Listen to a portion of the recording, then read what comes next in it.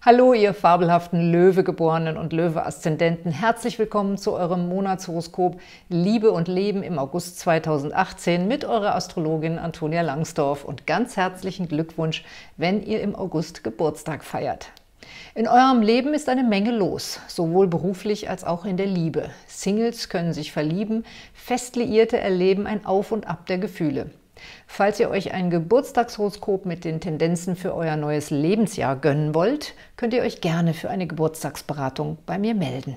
Ihr findet mich über meine Homepage oder mein Kundentelefon und die Infos verlinke ich unten in der Videobeschreibung und auf der Infokarte hier im Bild.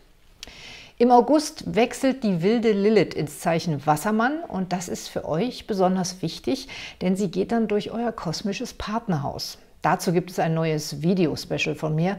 Darin erfahrt ihr auch, was der Lilith-Transit für euer Sternzeichen bedeutet. Und aus diesem Anlass verlose ich in diesem Monat eine Lilith-Beratung. Die könnt ihr bestimmt gut gebrauchen. Wie ihr an der Verlosung teilnehmt, das erfahrt ihr am Ende des Videos. Also bleibt dran!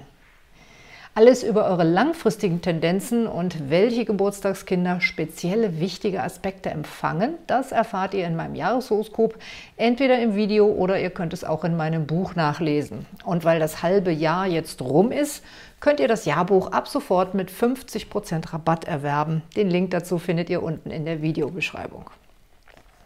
Und jetzt wollen wir in eure Sterne für den August schauen. Jede Menge kosmische Energie stürmt auf euer Sternzeichen ein. Ihr wollt wahrscheinlich viel bewegen und viel unternehmen, aber es läuft nicht immer alles so, wie ihr es euch vorgestellt hattet. Am besten, ihr bleibt flexibel und gelassen und rechnet damit, dass sich Pläne ändern und dass euch Menschen überraschen. Dann könnt ihr sogar richtig Spaß an den Konstellationen haben. Die Sonne steht in eurem Zeichen, im Löwen. Das ist toll für eure Vitalität und Ausstrahlung. Auch der Mondknoten steht im Löwen und eure Chancen, dass euch ein Seelenpartner findet, sind weiterhin besonders gut. Der Merkur steht ebenfalls im Löwen, ist allerdings rückläufig. Deshalb müsst ihr damit rechnen, dass ihr nicht immer so verstanden werdet, wie ihr es gemeint habt. Die Venus steht im Zeichen Jungfrau und damit in eurem kosmischen Geldhaus. In der ersten Woche könnt ihr deshalb gut ein Schnäppchen machen. Aber mit größeren finanziellen Entscheidungen solltet ihr noch abwarten, bis der Merkur am 19. August wieder direktläufig wird. Der Mars ist weiterhin rückläufig im Zeichen Wassermann in eurem Partnerhaus. Und zusammen mit dem rückläufigen Merkur kann das euer Beziehungsleben behindern. Euch fehlen irgendwie die guten Ideen oder die Lust zum Handeln. Lasst es einfach ruhig angehen und streitet euch nicht deswegen. Das könnte passieren, weil der Mars hier so stark angespannt steht. Ne? Und die ganze Spannung geht eben auch in die, ins Löwezeichen rein. Und weil Uranus, der an dieser Spannung beteiligt ist, in eurem Karrierehaus steht, kann es bei Streitigkeiten auch ums Berufliche gehen, um berufliche Pläne, wobei sich vielleicht der Partner oder die Partnerin nicht einbezogen fühlt. Am 6. August geht die Lilith ins Zeichen Wassermann in euer kosmisches Partnerhaus und trifft sich dabei auch gleich schon mal mit dem Mars. Da müsst ihr auch aufpassen, dass es da nicht vielleicht zu einem Streit kommt. Sie verkörpert einen großen Freiheitsdrang und zusammen mit dem Mars weist sie darauf hin, dass euer Partner oder Partnerin einen eigenen Kopf hat und möglicherweise ganz andere Dinge will oder anstrebt als ihr. Und dann kann es darum Auseinandersetzungen geben. Alles über diesen wichtigen Transit und wie er sich für euer Sternzeichen oder euren Löwe-Aszendenten auswirkt, erfahrt ihr in meinem Special Kreativ, wild und frei, Lilith im Wassermann. Schaut euch das bitte unbedingt an. Am 7. August wechselt die Venus das Zeichen und geht in die Waage und sie bildet dann bis zum 9. September einen günstigen Aspekt zur Löwesonne und hilft euch, liebevoll und wertschätzend zu kommunizieren. Das ist auch nötig, denn noch bis zum 11. August ist die Streitgefahr erhöht. Und übrigens auch das Risiko, sich im Alltag zu verletzen, ist erhöht. Vor allem, wenn ihr in den ersten Tagen des Löwezeichens Geburtstag habt oder wenn ihr wichtige Positionen auf 0 bis 5 Grad Löwe habt. Schaut euch dazu bitte auch nochmal die kosmische Schwingung an. Da habe ich das Horoskop von George Clooney analysiert. Der ist Stier und hatte einen Motorradunfall und der hat den Mars auf 0 Grad Löwe und hat da auch genau diese kosmische Spannung abbekommen. Und die Konstellation ist jetzt exakt bis zum 11. August, dauert aber insgesamt noch bis zum Ende September. Das heißt also, ihr solltet überhaupt jetzt August und September über gut auf euch acht geben und keine unnötigen Risiken eingehen. Und lasst euch auch bitte nicht provozieren und versucht euch nicht um jeden Preis durchzusetzen. In diesen Tagen solltet ihr alles tun, was hilft, Spannung abzubauen. Also gerade in den Tagen bis zum 11. August. Und dabei ist auch knisternde Erotik sehr hilfreich. Ja, am 11. August selber, an dem Samstag, ist dann der Neumond im Zeichen Löwe und der kann eine Wende zum Besseren bringen.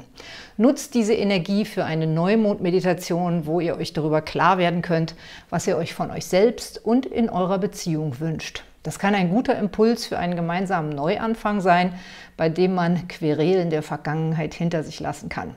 Weil der Merkur noch rückläufig ist, hier auch mit dabei bei dem Neumond, behaltet eure Ideen erstmal für euch und prüft sie innerlich. Ihr könnt den Neumond natürlich auch nutzen, um ein ganz persönliches neues Projekt zu beginnen. Schließlich findet er ja in eurem Zeichen statt. Ab dem 12. August beginnt dann eine beruflich sehr produktive Phase für euch, die bis zum Monatsende anhält und auch finanziell Gewinne bringt. Nur zwischen dem 23. und 28.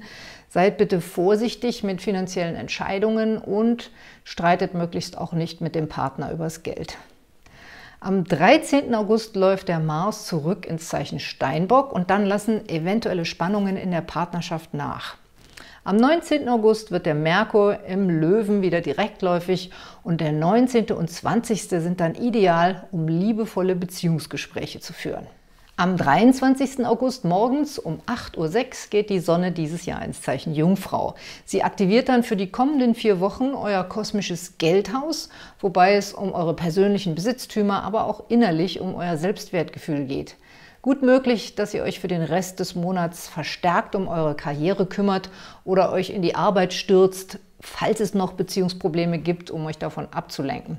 Denn positive Impulse und Anerkennung dürft ihr jetzt in eurem Job erwarten.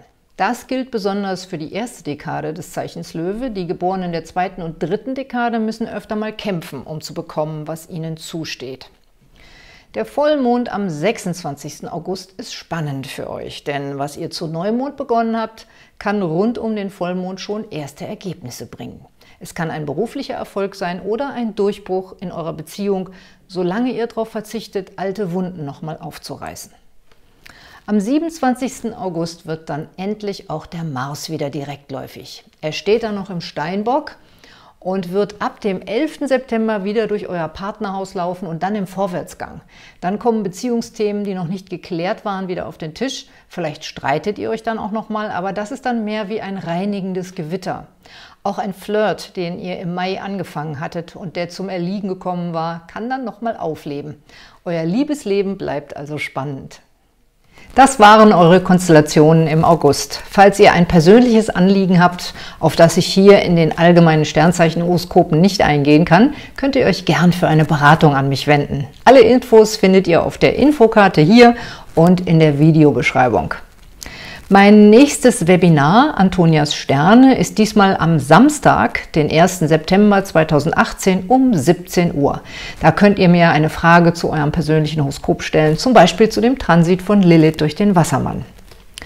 Und jetzt komme ich zur Verlosung und weil die Lilith in den Wassermann geht, gibt es eine Lilith-Beratung zu gewinnen. Da können wir uns in Ruhe anschauen, wie sich der Transit von Lilith durch den Wassermann in eurem persönlichen Horoskop zeigen wird. Und so nehmt ihr an der Verlosung teil, postet mir hier einen netten Kommentar und abonniert meinen Kanal. Und ich freue mich auch riesig, wenn ihr meine Videos teilt, sodass sich auch eure Freunde über die Botschaft der Sterne informieren können.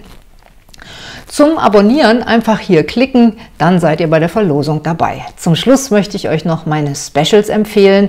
Natürlich das Neue über Lilith im Wassermann, aber auch über Uranus im Stier, Chiron im Widder und Saturn im Steinbock. Ich wünsche euch alles Gute mit den Sternen.